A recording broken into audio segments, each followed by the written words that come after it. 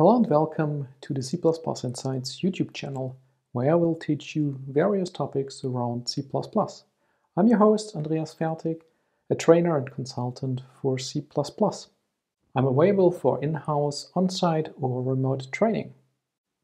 Today I like to talk about something that's often coming up during my training classes, especially if it's from people coming from C to C++. And the question is, what is the difference a pointer to a reference. And a lot of trainers, including me, usually use the analogy to say a reference is like a pointer. Well, one difference is a reference cannot be a null pointer. That's, I would say, a fair and okay analogy, but it's not the full truth. The truth is references are no pointers. They are different. So one example is for a reference variable, the compiler does not need to allocate storage space. And this is one advantage over pointers. I have a piece of code here that should illustrate my point. I have this variable i here, an integer, with the value 8. And now I have a pointer, Peter, which stores the address of i here. And I have a reference, Ronald, which also um, stores now a reference to i. If I print the values out here, i, that should be no surprise, i is 8.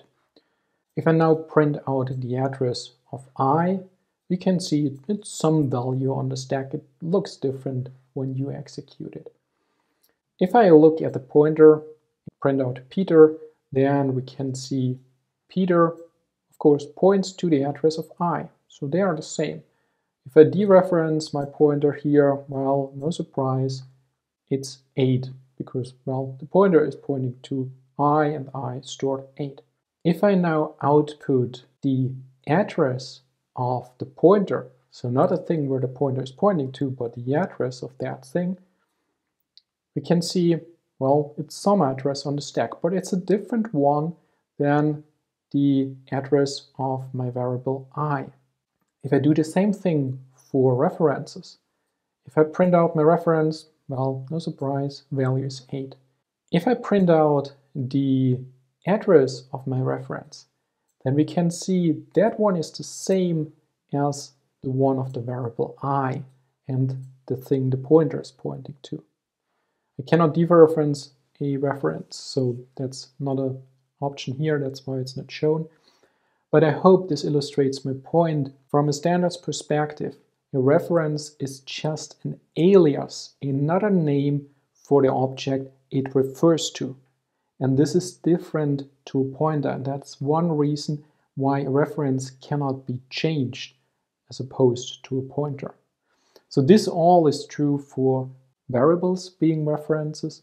Once we deal with parameters or reference members inside classes, things change obviously and we are looking more at the way how pointers do things so then we need storage space and all that but for this kind of example here you save yourself a bit of stack space by using references instead of pointers.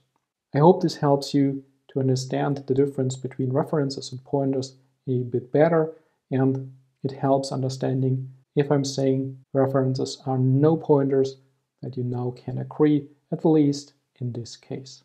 That's it for today. Thanks for watching.